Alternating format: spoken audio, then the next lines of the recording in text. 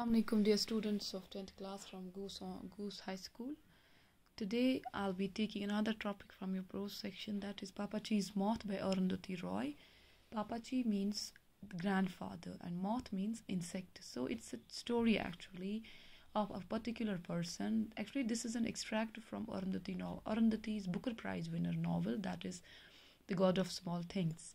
First we will read about author Suzanne Arundhati Roy was born born in 24th November 1961, is an Indian writer and activist who won the Booker Prize in 1997 for her novel The God of Small Things and in 2002 the London Cultural Freedom Prize. She is also a writer of two screenplays and a number of collections of essays.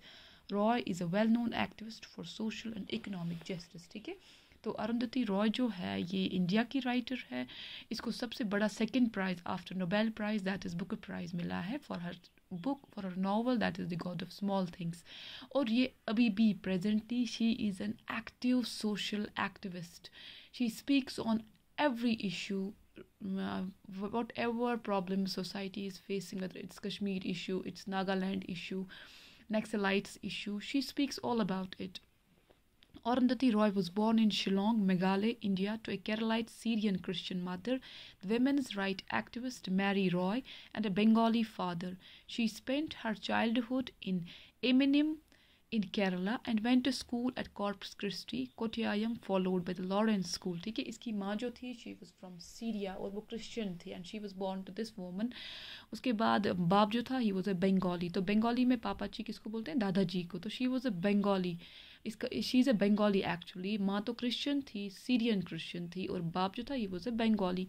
तो इसने अपना childhood Kerala में spend किया है and then she went to school went for her schooling उसके बाद she then studied architecture at the school of planning and architecture new Delhi where she met her first husband architect Gerard da Cunha Roy met her second husband film maker Pradip Krishen in 1984 and played a village girl in his award winning movie Masi Sahab. Until made financially stable by the success of her novel The God of Small Things, she did various jobs, including running aerobics classes at New Delhi's five star hotels. She is a committed human rights activist who has been writing on contemporary social and political issues. Okay? तो थोड़ा सा इसके बारे में author के बारे में कि कब इसकी शाद, पहली शादी हुई then she divorced met another man married him and then another man तो फिर फाइनली इसकी जब स्टेबल हुई till she became stable financially जब तक इसने the God of small things लिखी, तब तक ये फिनंशियली स्टेबल नहीं थी. And she use to do many job sometimes she use to make people do aerobics in five star hotels but after the success of her novel the God of small things she is now stable and right now she is a very committed human rights activist. जो contemporary issues पे, जो आजकल issues हो रहे हैं society में, उसके बारे में लिखती है। आप हमारा रीडिंग सेक्शन है थोड़ा। The God of small things is a story about the childhood experiences of a pair of fraternal twins who become victims of circumstances the book is about how small things build up ones behaviour and affect lives of people ये जो book है actually जिससे आपकी ये lesson extract की गई है ये फ्रेटर्नल टिबनस के बारे में है। वो जो किसकी नज़र हो जाते हैं, कुछ सर्कमस्टेंसेस की वजह से वो बिछड़ जाते हैं और कैसे वो अपनी लाइफ्स में चेंज भी हो जाते हैं और उनकी लाइफ कैसे बन जाती है।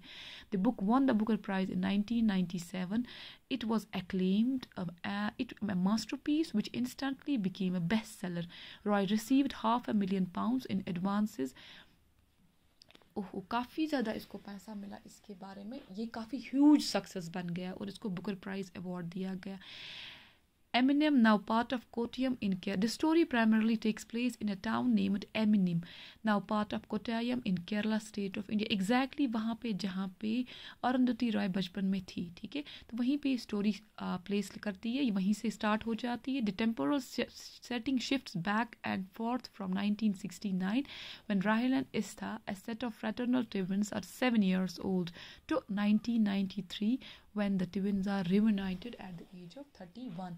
तो इसमें हमें दिखाते हैं कि दो बच्चे जो फ्रैटर्नल ट्विन्स होते हैं, वो एक एक एक एक होता है सात साल का और दूसरा होता है उससे सेट ऑफ़ सेवन ईयर्स और दोनों सात साल के हैं, लेकिन वो बिछड़ जाते हैं at the age of seven years और उसके बाद वो at the age of thirty one मिल जाते हैं।